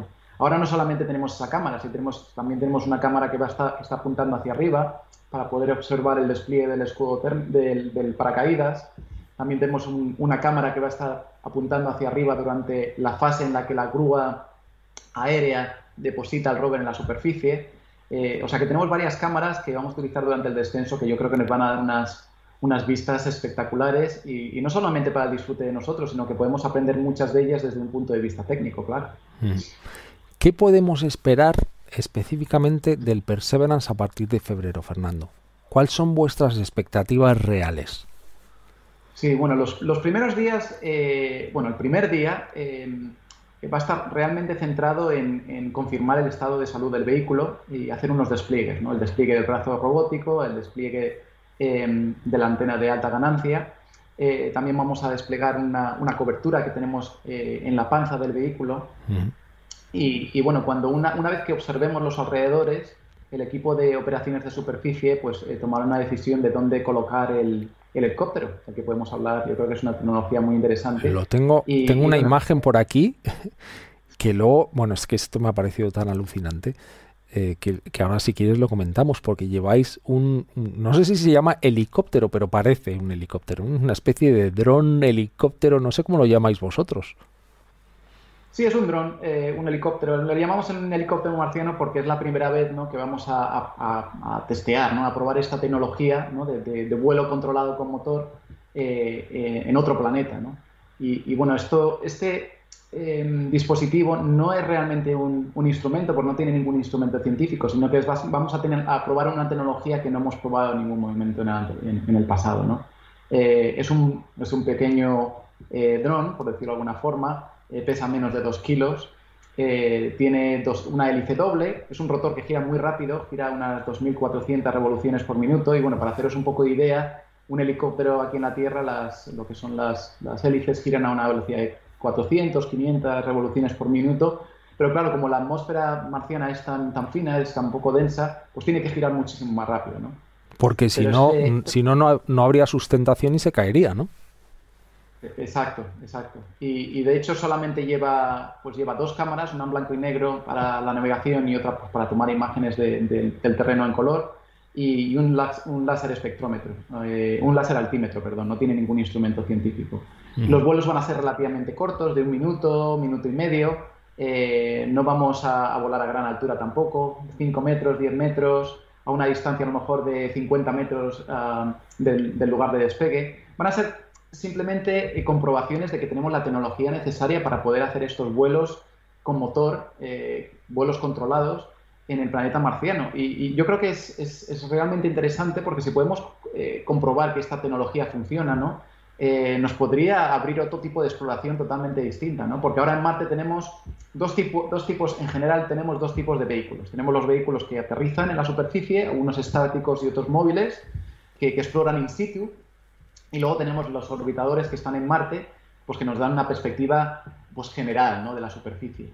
Pero tener un helicóptero nos, daría esta perspectiva oblicua, ¿no? Que, podría acceder a lugares que actualmente son inaccesibles. ¿no? Podríamos acceder a lo mejor a cuevas, podríamos acceder a acantilados, o podría servir pues, un poquito de guía ¿no? a, otro vehículo, como es este caso el, rover eh, Perseverance, eh, podría explorar el, terreno colindante y luego el equipo de operaciones de superficie decidiría si hay algo interesante que explorar en esa dirección. Vemos aquí este brazo robótico que parece que está tomando alguna muestra. Me imagino que ese es uno de los grandes objetivos, ¿no? El, hacer unas pequeñas incisiones en el terreno, taladrarlo de alguna forma para recoger en esos tubos de ensayo que porta ese rover y mm, traerlas de vuelta a la Tierra, ¿no? Sí, así es. Eh, esa es la función principal de este rover, ¿no? El, explorar el, eh, terreno marciano, eh, buscar indicios de posible o evidencias de posible vida pasada microscópica, microbiana, y, bueno, almacenarlos en unos tubos de ensayo para su posible recogida por una misión futura. estamos hablando de una campaña, ¿no? de un programa de traer muestras de Marte a la Tierra es un programa que, bueno, que tiene su inicio a principios del año 2000, pero ha sido como una, una, diana que se sigue moviendo, ¿no? Nosotros nos vamos acercando a la diana y la diana se sigue separando de nosotros, ¿no? Mm. Pero por, por, fin parece que hemos llegado a un punto de partida en el que la diana ya se muestra un poquito fija ¿no? en, el, en el suelo y nos podemos acercar a ese gran objetivo de la NASA que, que a grandes trazos eh, pues es una de las grandes misiones que tiene la NASA en el tema de la exploración del sistema solar eh, antes de mandar una misión tripulada al, al planeta rojo. Eh, comentarle también que este, esta campaña ¿no? de traer muestras eh, de, Marte a la Tierra eh, va a tener grandes cooperaciones internacionales, sobre todo con la Agencia Espacial Europea. Estamos planeando pues, mandar los, los siguientes elementos a, a Marte no antes del 2026. Y bueno, como te puedes imaginar, es un tema muy complejo, ¿no? porque este rover va a dejar muestras en la superficie, las muestras más más destacables, de más interés, las va a dejar en la superficie y luego vamos a mandar dos misiones eh, por separado. Una misión que va a ser un orbitador que va a estar orbitando en Marte, lo vamos a lanzar de la Tierra, va a estar orbitando Marte, eh, y luego vamos a aterrizar otro vehículo que va a tener un, rover pequeñito, eh, cuya función va a ser recoger estas muestras, y en esta misma plataforma de aterrizaje va a haber un pequeño cohete en el que se van a poner las muestras que recoja este pequeño, este pequeño rover, las va a mandar a, órbita marciana y entonces ahí va a hacer un, un rendezvous and docking, va a coger las muestras, la nave va a coger las muestras en órbita y las va a traer de vuelta a la Tierra. Os podréis imaginar, lo cierto es que es, es bastante complejo y tenemos eh, pues años con muchos desafíos por delante, pero bueno, el, primer paso es, es aterrizar el Perseverance con éxito y encontrar estas muestras que pueden tener información muy interesante. O sea, todo esto, cuando tú lo estás contando, suena como a película de ciencia ficción, pero estamos hablando de algo que parece que cada vez está más cerca, ¿no? Eh, y yo siempre que cuentas este tipo de cosas, o siempre que os escucho, eh, pienso en las matemáticas que hay detrás, eh, de los miles de cálculos que tenéis que hacer Mm, aunque contéis con superordenadores, tiene que haber mentes, bueno, pues yo diría que privilegiadas, ¿no? Para hacer todo ese tipo de cálculos. No, vamos a poner un rover pequeñito, luego va a haber un cohete, luego eso sube, luego eso se engancha. O sea, me suena todo como, eh, no lo sé, como mucha ciencia ficción, para mí, ¿eh? Sí, es así, es así. Yo creo que es una muestra de lo importante que es el trabajo en equipo, ¿no? Eh, tenemos gente, tenemos expertos de todo el mundo. Tenemos la suerte de, contar con gente eh, pues que son expertos en su, en su tema en particular, ¿no? Antes enseñaba las imágenes del, del descenso, ¿no? Y hablábamos de paracaídas, pero siempre pongo el mismo ejemplo. Eh, llevamos más de 70 cargas pirotécnicas, las cuales todas tienen que funcionar, porque si no el paracaídas supersónico no se va a expulsar, o el escudo térmico no se va a expulsar, o la, o la parte posterior de la cápsula de entrada no se va a expulsar si cualquiera de estos dispositivos pirotécnicos no funciona, se acabó la misión, ¿no? Eh, con esto decir que, bueno, cada una de las personas que trabajan en un proyecto, pues eh, son expertos en, los que, en lo que hacen y tienen que hacer un trabajo absolutamente perfecto. Yo recuerdo, eh, me considero un privilegiado no, solamente por donde trabajo, sino también por tener eh, la oportunidad ¿no? de trabajar con gente que lleva trabajando en esto 40, 50 años, ¿no? llevan trabajando en, la exploración del sistema solar desde antes que yo naciera, ¿no? Es gente que tiene un conocimiento increíble, ¿no? Es realmente abrumador, ¿no?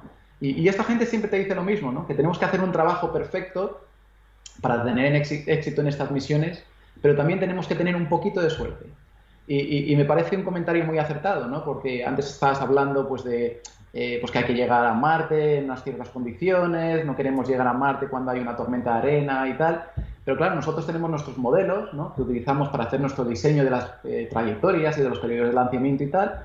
Y, bueno, ¿quién nos dice que a lo mejor vamos a llegar a Marte eh, en un momento o una época en el año en el que nunca ha habido una tormenta de arena, justamente en el día que llegamos la hay? ¿no? Hay, hay, un aspecto ahí de, eh, de, caos, por decirlo de alguna forma, de, de, de randomness, ¿no? de arbitrariedad, que siempre entra en juego, ¿no? por lo, que, lo cual nosotros pues, nos hemos preparado para para responder a todas las preguntas que conocemos eh, con la respuesta adecuada, pero es muy difícil, es muy difícil responder a preguntas que, nosotros no, que no nos hemos planteado. ¿no?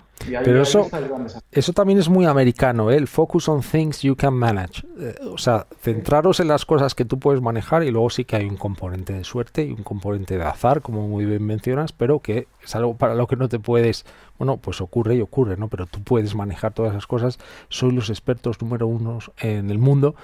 Eh, Fernando, me voy a meter ahora en un charco, y, te lo digo, eh, porque tú, que eres una persona joven, eh, tú haces una tesis doctoral en la que no dejas un fleco suelto, en la que cubres de forma detallada todas las fases de una misión, desde el diseño de las naves hasta la construcción de una base científica sobre suelo marciano, Em, cuando tú, ¿qué, estabas pensando cuando haces esa tesis doctoral? Y me imagino que cuando tú la presentas, eh, la NASA se va por ti inmediatamente. ¿Cómo sucede todo aquello? ¿Te has equivocado mucho entre lo que tú, eh, bueno, preveías en, esa tesis y, cómo, cómo se están desarrollando los hechos ahora? Eh, bueno, me gustaría enlazar un poquito esta pregunta con lo que hablábamos antes, ¿no? Del hecho de que pues, yo tengo una familia totalmente normal, de clase media, crecí en Madrid, fui al colegio Claret, ahí en el barrio de Chamartín, en Prosperidad. Eh, compañero de Víctor, al que le mando un grandísimo abrazo porque ha sido, gracias a Víctor, compañero tuyo de colegio, que hoy estás aquí conmigo en Radio El Respeto. Así que, Víctor, si nos estás viendo, gracias. Sí, eh, Víctor es una gran persona y un gran amigo y, la verdad es que es, es, un placer que nos haya puesto en contacto y poder compartir este apasionante mundo con vosotros, ¿no? Eh, pues a lo que iba es, em, eh, yo tuve la, gran suerte de que pues, me dieron unas becas ¿no? por méritos académicos para venir a Estados Unidos. Y bueno, todo empieza en el, trabajo en el colegio. Estudias con ilusión, con ganas, con esfuerzo, con determinación y se empiezan a abrir puertas. Eh, una vez que pude venir aquí a estudiar, gracias a estas becas, pues enseguida me centré un poquito en el tema de la astrodinámica, de la mecánica orbital, y, bueno, ya un poquito por inercia, ¿no? Pues mi tema de tesis pues estaba centrado sobre todo en, la que, en lo que es la optimización de, trayectorias interplanetarias. Yo recuerdo que empecé a trabajar en ello pues cuando tendría a lo mejor 20 años o por ahí, pero allí por el, pues eh, sí, pues, a final de la década de los 90, ¿no? Y, y, lo cierto es que el tema me, resultaba tan apasionante, ¿no? Que, que, que, bueno, empecé a decir, bueno, ¿y por qué no desarrollo un concepto, ¿no? Para mandar una posible misión tripulada al planeta rojo. Eh, me, equivoqué en bastantes cosas, todo hay que decirlo. Eh, pero lo cierto es que, eh, pues gracias a esta tesis, que no sé si tenía 200 o 300 páginas, escribí un, artículo técnico que presenté al EAAA, que es una organización astronáutica en Estados Unidos de profesionales, pero que invitan a estudiantes de vez en cuando. Y, bueno, pues tuve la gran suerte pues, de que mi, trabajo pues, fue seleccionado entre los cinco mejores de, de Estados Unidos. Y entonces, pues eso me dio mucha exposición hacia afuera, ¿no? Y, y, pues gracias a eso, pues yo me puse en contacto a, con, con, eh, con, gente que trabajaba en el programa de Marte. Eh, por aquella época eh, Internet existía y el email existía, pero, pero no era una cosa tan común como ahora, ¿no? que es toda, toda la información disponible en la nube o en, Internet. Yo recuerdo que tenías que hacer bastante investigación y bueno, a lo mejor pues, utilizaban el email o no. ¿no? Yo lo que hice pues, fue buscar a, a gente que trabajara en este mundo, le mandé una copia de, de mi tesis, unos programas de optimización y tal, y me contestaron diciendo que les resultaba muy interesante y que me querían conocer y así es como, como empezó todo, ¿no? O sea que eh, con esta historia me gustaría pues, reseñar un poquito lo que he comentado antes, ¿no? que, que con esfuerzo y con ilusión eh, y con, ah, pues quizás con mucha cabezonería también, ¿no? con determinación, eh, se, te se, te abrirán muchas puertas. A lo mejor llamas a, a, a, 100 puertas y se te cierran 99, pero con que se te abra una, eh, pues el futuro lo tienes al alcance de la mano. Qué bueno, los sueños se cumplen y lo que el trabajo duro y el esfuerzo y sobre todo el tesón y la ilusión hacen, eh, pues, pues estáis viendo aquí el ejemplo con Fernando, ¿no? Eh, Fernando escuchaba hace poco a, a grandes científicos que comentaban que Marte y toda esa inversión, porque yo lo considero una inversión y tú hablabas de ello hace poco, de que cada dólar invertido generaba pues 50 o 60 dólares ¿no? de retorno, pero Marte es como el plan B de la Tierra. Escuchaba a los científicos decir que llegará un momento en el que el Sol pues eh, se vaya convirtiendo en una estrella enana, que se vaya haciendo cada vez más pequeño, y la Tierra está condenada a desaparecer y daban dos causas principales. Una podría ser el impacto de un meteorito, que es algo pues que en este momento no tenemos información. Es algo que puede ocurrir, de hecho ya ha ocurrido, no una extinción eh, eh, completa del planeta, pero sí una gran extinción masiva. Podría ser un meteorito o seguro que va a ser el Sol en un momento determinado. Entonces se plantean, bueno, que Marte podría ser un plan B de la Tierra. He escuchado incluso, bueno, teorías de cómo construir eh, estaciones eh, orbitales y demás. Pero, ¿es Marte el plan B de la Tierra, en tu opinión? Eh, bueno, el motivo por el que exploramos Marte, no solamente porque es el, plan B, sino porque es un planeta que está relativamente cerca de la Tierra, ¿no? lo podemos explorar con, bastante frecuencia, pero sobre todo tiene recursos que, pueden ser, que podrían ser utilizados pues, para tener una, una base, ¿no? una base en, en, Marte y que podría ser, lo que dices tú, eh, una especie de plan B si por algún motivo eh, nuestro planeta se convierte en un lugar pues, inhóspito ¿no? en el que no se puede vivir. Eh, hay muchos motivos por el que esto es necesario y es, es interesante. yo me he quedado con varias frases de, conocidos pues, astrofísicos ¿no? que dicen que los, las especies que son eh, que viven solamente en un planeta a largo plazo no consiguen, no, consiguen sobrevivir, ¿no? Eh, que solamente las civilizaciones que son multiplanet, eh, que, viven en, que se extienden a múltiples planetas, son las que realmente consiguen perpetuarse. Creo que es una fase bastante aceptada. quizás a, la gente le pueda parecer que estamos hablando de, pues a lo mejor de, cataclismos muy a largo plazo, pero lo cierto es que tenemos, tenemos que tener un plan B, ¿no? y, por ello estamos poniendo muchas fases en Marte, porque tiene los recursos necesarios para poder dar soporte biológica a una misión tripulada a largo plazo. Y, por ello, eh, misiones como por ejemplo el Mars 2020, pues lleva instrumentos ¿no? que nos puede acercar un poquito en esa dirección. ¿no? Por ejemplo, tenemos un instrumento que se llama MOXIE, que va a tomar el dióxido de carbono de la atmósfera y va a generar oxígeno. Eh, también llevamos la Estación Meteorológica Española, que nos va pues, eh, a, a, proporcionar información eh, que nos va a permitir construir modelos atmosféricos que también van a ser muy importantes pues, para diseñar habitáculos y diseñar eh, pues incluso eh, trajes de astronautas ¿no? que puedan sobrevivir ¿no? a ese ambiente marciano. De hecho, como curiosidad, y, estás muy informado, Pablo, estoy muy impresionado. Ah, tienes mucho conocimiento de lo que estamos haciendo en esta misión, pero no sé si sabrás que, llevamos un, una pequeña muestra de un, de un traje de astronauta eh, y la llevamos eh, porque así va a estar expuesta ¿no? a lo que es la radiación en la superficie y así podemos pues, eh, saber un poquito más ¿no? de cómo este material interactúa con, con el medio ambiente marciano. No, se deja nada al azar, me parece mm, maravilloso ¿no? que probéis absolutamente todo. Había leído sobre el tema de los trajes y me parece fascinante ¿no? que lo expongáis ahí para ver cuál es la reacción, claro, porque si en un momento hay una misión tripulada, que la habrá, sabemos si el traje nos va a proteger o no. Sí, no, así es, así es. Eh, incluso el rover también lleva otro instrumento que nos va a permitir, eh, es un, básicamente un radar que va a penetrar la superficie y va a buscar pues, indicios de agua pasada. Eh, hablamos muchas veces del agua, ¿no? Y el agua, y el agua. Y, me gustaría a lo mejor poner un poquito esta frase en contexto. la NASA durante las últimas décadas ha estado muy centrada en la búsqueda de agua en el planeta marciano eh, a mí me parece algo fascinante, ¿no? porque si, si, observáis algunas de las imágenes ¿no? Eh, que nos llegan de la superficie marciana, podemos ver lo que, lo que eran antiguos cauces ¿no? de ríos, antiguos lechos ¿no? de, lagos. puedes incluso encontrar capas de sedimentación que han dejado anillos concéntricos ¿no? cuando el agua fue bajando de nivel. Eh, es increíble, ¿no? Eh, eh, casi no importa dónde mires en Marte, tenemos muestras de que Marte hace unos 3.000 millones de años era un, era un planeta muy distinto a la actualidad, ¿no? existían ríos, lagos, océanos. Y, bueno, una vez que hemos confirmado que en Marte existían grandes cantidades de agua y también en la actualidad, pues el siguiente paso era, bueno, sabemos que en la Tierra donde existe agua y existe una fuente de energía como el Sol, existe el potencial de la vida, ¿no? Esa fue, la, fue realmente eh, la, ese fue el objetivo, ¿no? la meta del, rover eh, Curiosity. ¿no? Sabemos que existía agua en el cráter Gale, se han dado las condiciones necesarias para que se desarrollara vida en algún momento en el pasado. Sabemos, gracias a los descubrimientos de esta misión, que así, así, fue. ¿no? De hecho, el rover Curiosity ha encontrado lo que son los bloques fundamentales de la vida. ¿no? ese, material, esos, esos, esos, elementos químicos que son fundamentales para el desarrollo de la vida microscópica.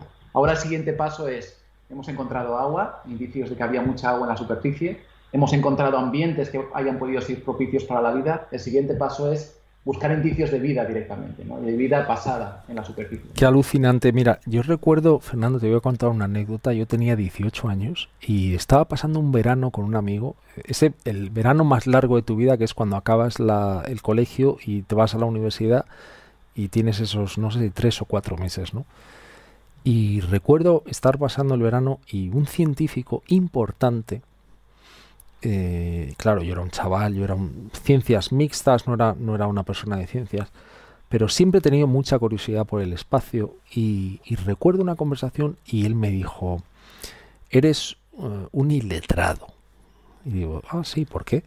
Me dice, porque tú siempre estás pensando en que hay vida, observas el espacio y piensas que hay vida, pero la vida es insostenible sin agua y no existe agua en ningún sitio y lo decía con una rotundidad y ahora cuando te escucho, no solamente te escucho, sino que hemos visto esas imágenes de esos lechos que sabemos, no solamente que ha habido, que es un hecho, sino que posiblemente todavía exista agua bajo la superficie. Sabemos que en la Luna posiblemente haya depósitos de agua gigantescos y por eso sea una zona de paso ¿no? para ir hacia Marte.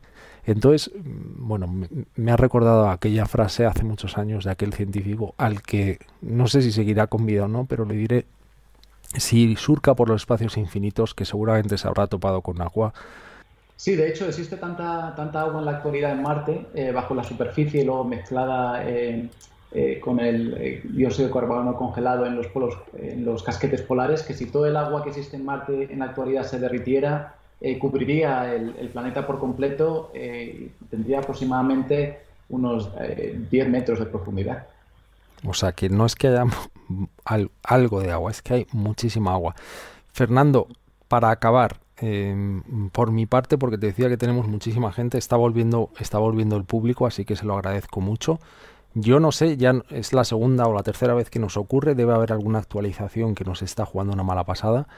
Eh, pero quería acabar con esta pregunta yo. ¿Cuál es tu película favorita del espacio como, como persona que ha estado tantos años trabajando en NASA? ¿Crees que hay alguna película eh, de ciencia ficción o no de tanta ficción que tú consideres que refleja muy bien lo que nos espera ahí arriba? Sí, bueno, yo tengo que, tengo que empezar diciendo que cuando veo películas no me fijo tanto en el aspecto técnico, eh, intento disfrutar la película, sé que hay licencias artísticas que Hollywood se toma y me parece estupendamente. Así es que habiendo aclarado eso, eh, yo diría que en, en, este tema mi película favorita es The Martian, ¿no? la película con eh, con Matt Damon. Eh, en España creo que se llamó, no sé si se llamó El Marciano, no, no, sé exactamente cómo la habrán traducido. Pues no me acuerdo cómo se llamaba, pero sé, sé qué película es, una que, que, que, incluso planta hasta patatas, ¿no? Si no recuerdo mal. Sí, esa, esa la misma. Y, bueno, me, me, encantó la película porque además Matt Damon vino eh, a, JPL, al, laboratorio, y tuvimos oportunidad de conocerle y tal, me pareció Qué una encantadora. Se le veía que estaba súper interesado en el trabajo que hace NASA, el trabajo que hace que, estamos haciendo de exploración en Marte y, lo cierto es que se quería, quería saber más, ¿no? Ya no solamente a lo mejor para meterse en ese papel, pero quería, quería yo creo que de forma genuina tener más conocimiento sobre por qué Marte, por qué estamos explorándolo y, y cuáles han sido los hallazgos que, que hemos hecho durante las últimas décadas. Pero el motivo por el que me gusta mucho esta película es porque creo que captura de forma muy, muy acertada lo que es la cultura dentro de NASA y dentro de, nuestro, de nuestro centro específicamente, ¿no? Sobre todo en la película cuando se, cuando, pues, se habla del riesgo, ¿no? De perder la tripulación y el riesgo, eh, pues, eh, eh, cuáles son los pros y los contras, ¿no? De mandar una, una misión de rescate sabiendo que puedes poner en peligro la vida de, la de las personas que van en esa misión. y luego un poquito, pues, el, el pensar, ¿no? Un poquito hacia afuera, ¿no? Mirar a, eh, pues un problema así a rasgos, eh, a grandes rasgos para encontrar una solución que no parece obvia, ¿no? Es un poquito la mentalidad que existe dentro de la NASA y, bueno, pues eh, la verdad es que desde el punto de vista me, gustó mucho la película. Bueno, quería mostrar estos objetos que están incluidos en la nave, que van desde símbolos hasta microchips ultramodernos que contienen hasta 11.000 nombres y una placa de aluminio que bueno, es un homenaje a todos los trabajadores de salud que han estado arriesgando sus vidas para ayudar a los afectados de la pandemia de la COVID y que habéis incluido en ese rover, ¿no? Todos estos objetos que cada uno pues o tienen funciones decorativas o tienen también eh, bueno, como decía, valor de homenaje, ¿no? Es una cosa curiosísima. Sí, exactamente. Pues yo creo que es, muy importante reseñar otra vez ¿no? que esta misión, como las, las, misiones que hemos mandado en el pasado, no es una misión de NASA exclusivamente o de, Estados Unidos, ¿no? porque incluimos la industria privada, sino que es una misión en la que vamos todos, una misión de la humanidad y en el que, bueno, espero que todos eh, pues, eh, os, os, sentáis copartícipes ¿no? de, esta, de, este, de esta exploración, eh, de esta región que nunca hemos explorado en el pasado y, bueno, yo creo que simplemente pensar ¿no? que vamos a, aterrizar un vehículo y vamos a tomar unas imágenes de un lugar eh, que nunca hemos visitado en el pasado, yo creo que realmente es, eh, es increíble. Fernando, si te parece, vamos a ir con preguntas que tengo a mi amigo Nacho Sevilla y a Isa Aranjuez que están ayudándonos en las redes, mandándonos multitud de preguntas. ¿Te parece que empezamos con alguna de ellas?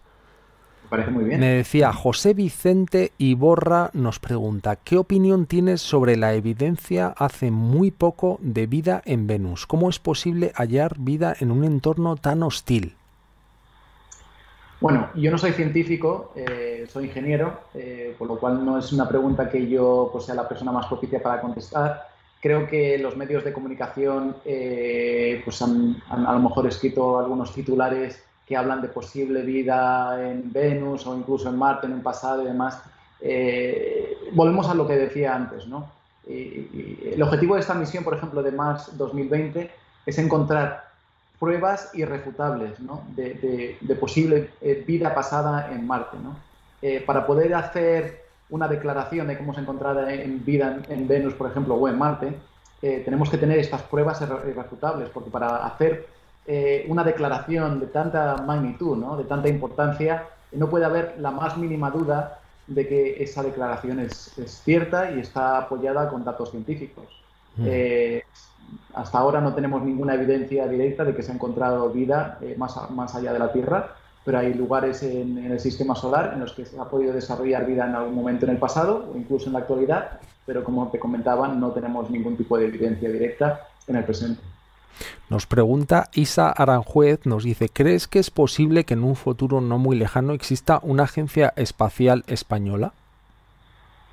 Sin duda. Eh, que sea posible, eh, sobre todo basado en el talento eh, que tenemos en España, no tengo la más mínima duda de que sería posible. que va a haber un presupuesto que pueda dar soporte a esa infraestructura. lo único que puedo decir es que me encantaría que lo hubiera eh, ojalá dentro de unos años eh, tengamos alguien eh, en una posición en la que pueda, se puedan tomar decisiones de esta magnitud, que sea una persona que sea un visionario, que, pueda realmente como plantar la raíz ¿no? de lo que podría ser pues un avance tremendo en nuestro impacto a nivel global de la tecnología española, ¿por qué no? Mariló Pérez nos dice, ¿cuáles son los principales problemas que impiden a día de hoy el establecimiento de una colonia humana en Marte? ¿Estamos aún muy lejos de cumplir ese objetivo? Eh, hay tres problemas. Uno de ellos es la radiación. Eh, la radiación eh, que, se, experimenta en, la superficie en la superficie marciana es, muy elevada. La, dosis de radiación es, muy importante y es, un problema que con el que tendremos que lidiar.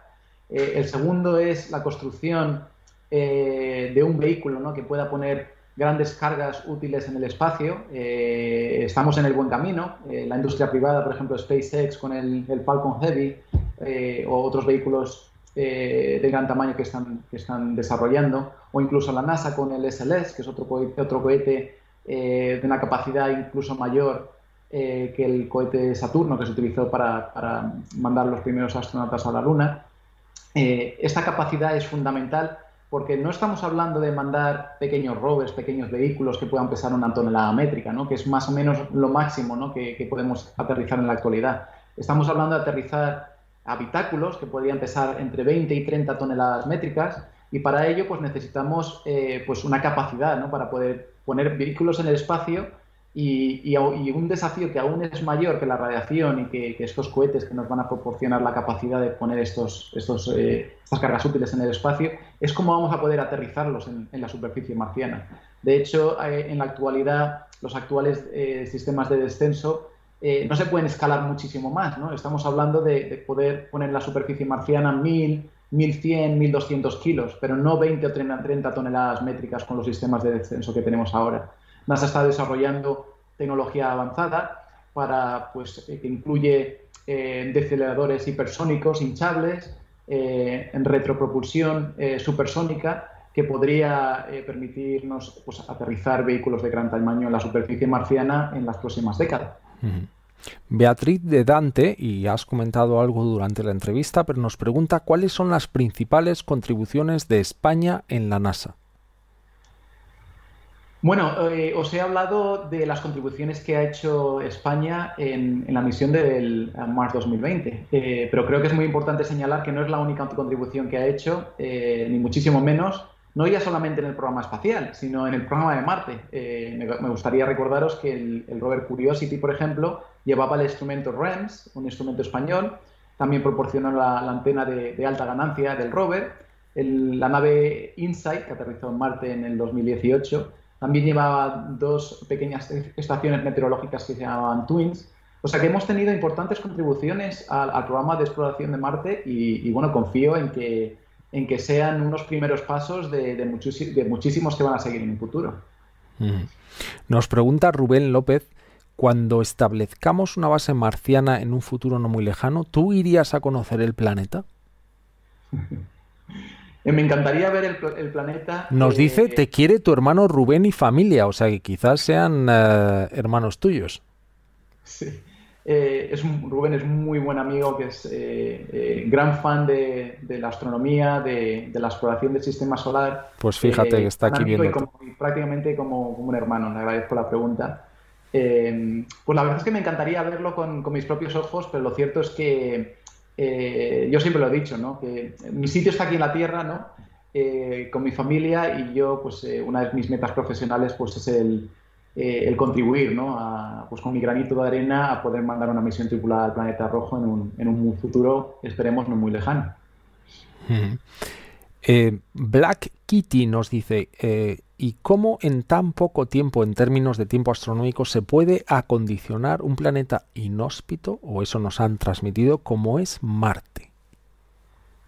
Bueno, me imagino que, habréis escuchado sobre teorías como terraformar el, planeta marciano eh, para que sea un lugar más propicio para la vida.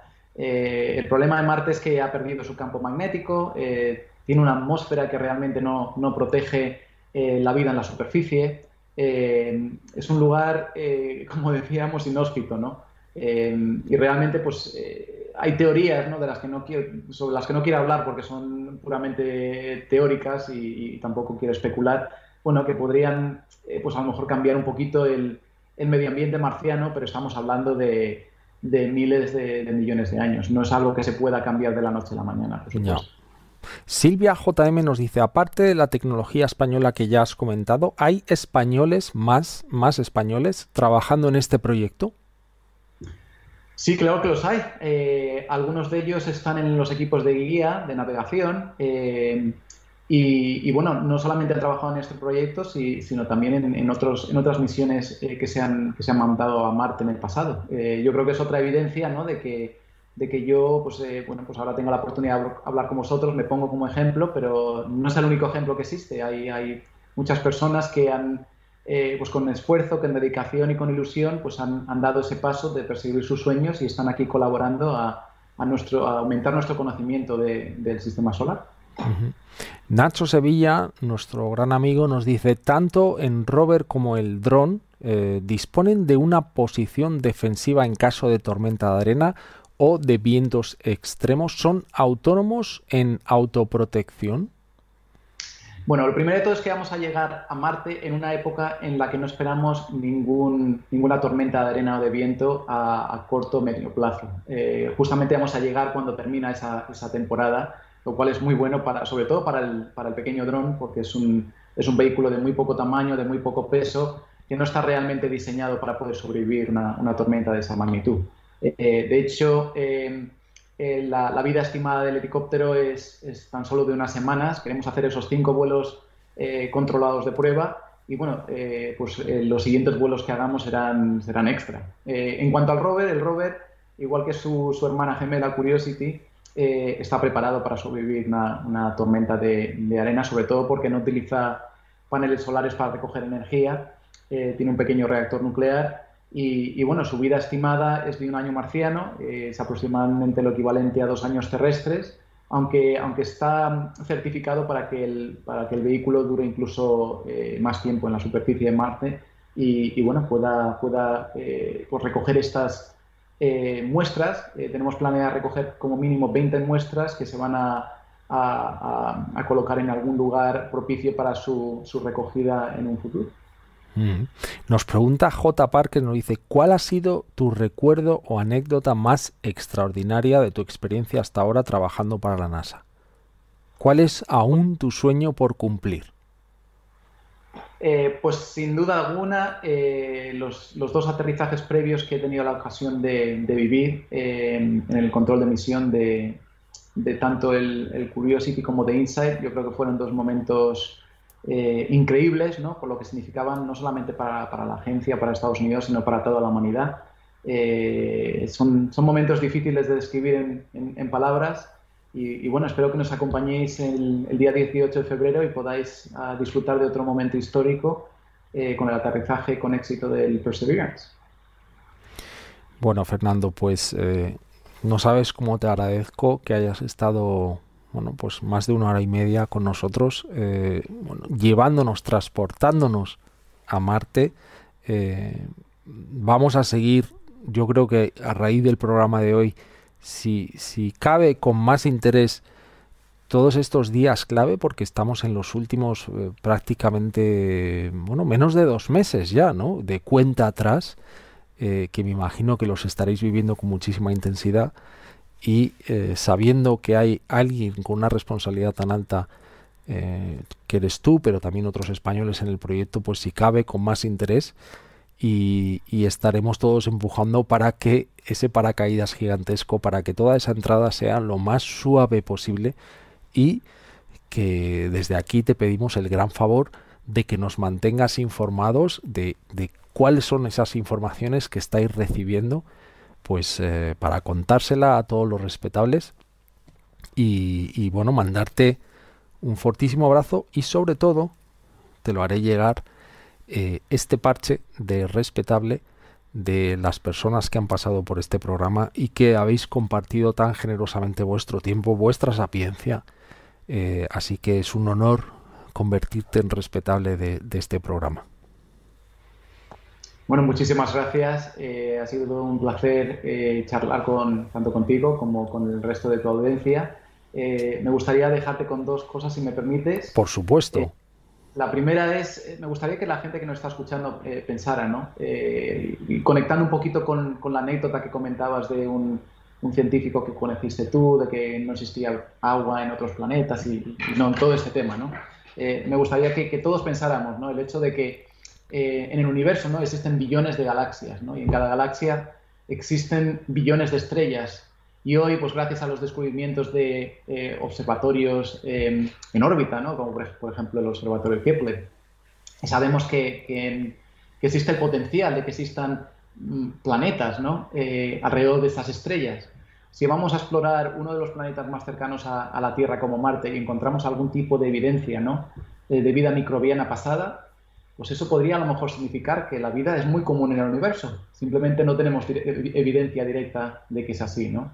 Eh, yo creo que es algo eh, tremendo, ¿no? Eh, y que evoca muchos pensamientos incluso filosóficos de nuestro lugar en el universo. Por supuesto que sí. Y, y la segunda, pues la, segundo, la segunda nota ¿no? que quería un poquito comentar es agradecer de nuevo ¿no? el, trabajo tan importante de divulgación científica que, haces. Para mí ha sido un placer hablar, hablar con vosotros y animar mucho ¿no? a, todo el público y a la gente joven, eh, sobre todo, ¿no? a perseguir sus sueños. ¿no? Eh, ya no hablo de las ciencias, de la tecnología, de las matemáticas. hablo de cualquier sueño que tengáis, ¿no? con, con, con pasión y con dedicación y, y sobre todo con esfuerzo, siempre está al alcance de las manos. Pues qué mensaje tan importante nos acaba de dejar Fernando eh, para todos aquellos padres, porque nosotros en Radio El Respeto tenemos una audiencia, eh, cuando medimos las métricas de YouTube, ¿no? un 70% no está suscrito, así que eh, todos los que nos estáis viendo ahí, darle al botón de suscribir y darle al dedito, porque eso hará que el programa de todo lo que nos ha contado Fernando, pues se comparta. Así que es muy importante que le deis al dedito y que os suscribáis. Pero nuestra audiencia, Fernando, que está en torno a los 35 para arriba, gente que ya tiene hijos, pues que transmitan este mensaje tan importante que nos acabas de dar, que los sueños se cumplen, que con trabajo y tesón eh, las puertas se abren, que un español que estudió en Madrid, que tiene familia en Galicia, que soñó un día en trabajar en la NASA eh, pues está sentado en la misión de control de un proyecto que puede cambiar los designios de la humanidad eh, sin ninguna duda y, bueno pues que nos ha dejado esa frase tan tan importante de, de que hay que trabajar para conseguir las cosas y que todo es posible ¿no? así que yo creo que con esa nota positiva en un año tan difícil y sobre todo con el optimismo de ver como en bueno, a principios de febrero, bueno, vamos a ver cómo esa nave, cómo ese rover aterriza eh, y empieza a mandar, pasados unos minutos, esas señales de todo va bien y es el momento de empezar a explorar. Fernando Avilleira, ha sido un auténtico honor tenerte en Radio El Respeto. Seguimos en contacto. Te ruego que por favor nos mantengas informados de cualquier noticia que surja y será un honor volver a tenerte una vez que esa misión bueno, concluya con éxito, que estamos seguros que así será. Todos los respetables estamos empujando para que así sea y que lo podamos contar aquí. Estupendo, muchísimas gracias a vosotros. Un abrazo. Un fortísimo abrazo. Bueno, y después de otro programa con incidencias en la conexión, no, sabemos qué es, estamos investigándolo porque ya es la segunda vez que nos pasa, pero bueno, me dice Nacho Sevilla que eh, prácticamente 600 de las mil y pico personas que están viendo en directo han, recuperado ese link. Es difícil. Bueno, pues os mandamos las gracias desde aquí. Darle a Fernando mm, las gracias eternas por, por, haber, por haberse unido de nuevo a, al programa de hoy. Y eh, bueno, pues como siempre os digo, suscribiros a Radio El Respeto. Nunca sabemos cuándo vamos a volver. Mm, cuando tengamos cosas interesantes que decir, con gente tan interesante como Fernando. Así que eh, Radio Respeto volverá seguramente pronto. Vamos a ver con qué sorpresa os esperamos a todos. Muchas gracias por estar ahí.